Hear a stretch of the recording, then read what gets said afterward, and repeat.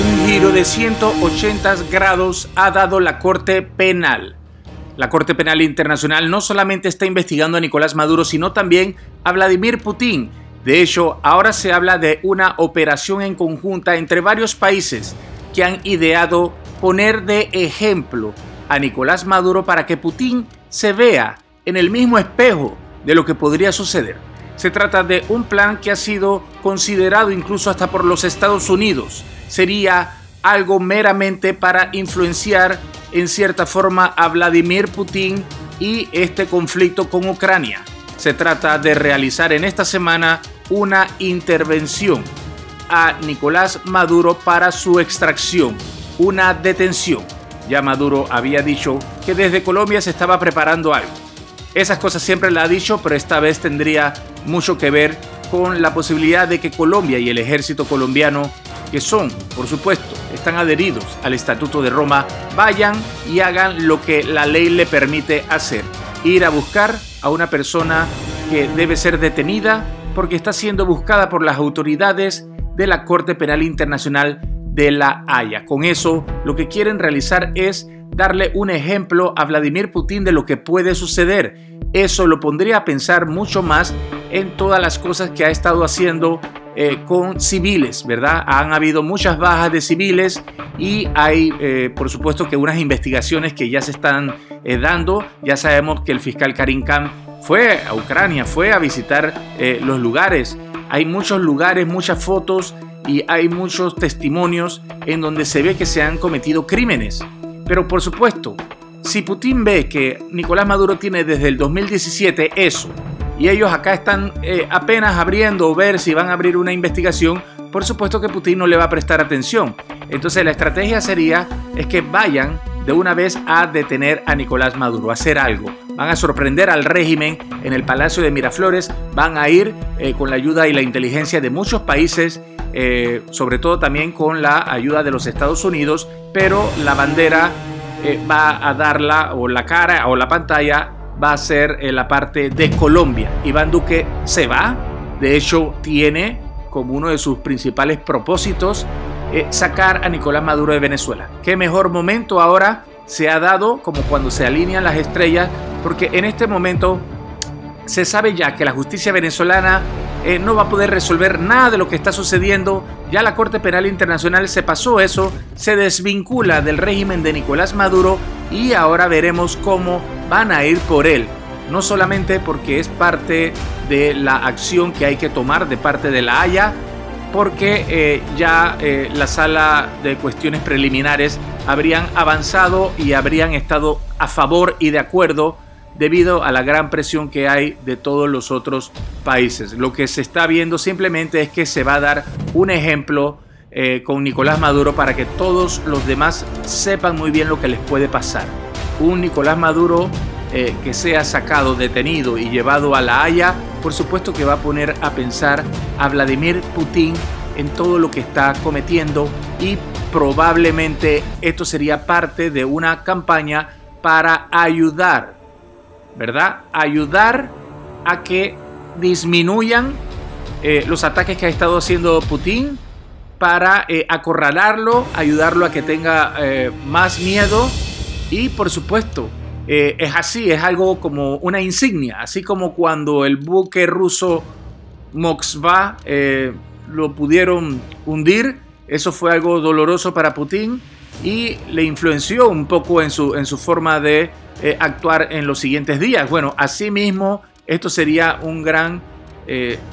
espectáculo mundial ver que Nicolás Maduro sea detenido justo cuando a Putin también lo están investigando la Corte Penal Internacional. Tienen que detener primero a Nicolás Maduro para poder dar un gran ejemplo eh, para que Putin también entonces se abstenga de estar realizando y que pare un poco las tropas rusas para eso. Ya sabemos que vienen unos pasos procesales en la Haya, hay prioridad a la investigación en Venezuela, pero por supuesto que ahora mismo están muy preocupados con lo que está sucediendo en eh, Ucrania, porque estamos hablando ya de, eh, de, muchos civiles, estamos hablando cada vez de más y más civiles, eh, estamos viendo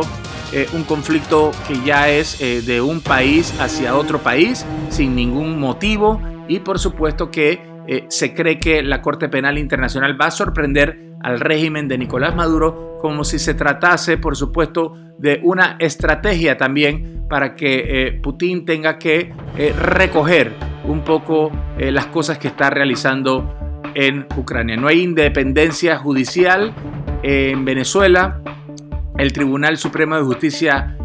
no funciona, no hay garantías y Asimismo, como la Corte Penal Internacional busca testimonios de primera mano en Venezuela, también está buscando testimonios de primera mano en Ucrania. Así que Maduro no pudo manipular a esta comisión y ahora se ha vuelto todo en contra de él. Y de hecho, esto que está sucediendo entre Rusia y Ucrania no le favorece para nada a Nicolás Maduro. Todo lo contrario, hay mucha preocupación ahora en el Palacio de Miraflores porque se sabe que Nicolás Maduro lleva la de perder y esto, si hacen este plan que se ha estado eh, conversando con varios aliados y por supuesto que Iván Duque está a favor, entonces veríamos cómo eh, pudieran ir a llevarse a Nicolás Maduro simplemente para dar también un ejemplo y poder proceder entonces ahora con lo que está eh, sucediendo en Ucrania. Recordemos que todo está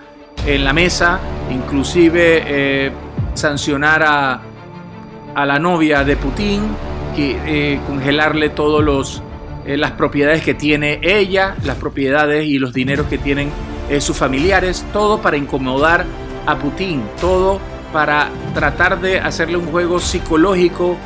a Putin y que éste tenga que echarse para atrás. Así que asimismo veremos cómo Nicolás Maduro va a quedar metido dentro de toda esta eh, situación, eh, pero se va a acelerar gracias a las necesidades que tiene el mundo democrático en este momento de poner ejemplos y de poner en su lugar también a Vladimir Putin, a las, a las tropas rusas por todo lo que han cometido en diferentes eh, locaciones de Ucrania, en donde ya han ido, por supuesto, no solamente Karim Khan, el fiscal de la Corte Penal Internacional, sino también ahora ha ido Anthony Blinken, el jefe del Pentágono, y por supuesto, eh, siguen las amenazas. Ahora Lavrov dice que la amenaza es real eh, para que pudiese haber un, una tercera, un tercer conflicto mundial y por supuesto que eso pone eh, en alerta y en alarma todas las entidades de seguridad eh, del mundo. Y por eso que la ONU también se estuvo reuniendo y ahora verán si parte de lo que sería eh, una estrategia integral eh, va a ser las sanciones que dijimos, más armamento, que es lo que más le ha dolido también a Putin, pero por supuesto el ejemplo de tener que detener a uno de sus supuestos aliados, que también esto le podría resultar una especie de, como si una pequeña derrota y también de un ejemplo de lo que le puede suceder a Nicolás Maduro y entonces lo que le podría suceder a Vladimir Putin. Díganos, ¿usted qué opina? Déjanos tus comentarios y recuerda suscribirte a nuestro canal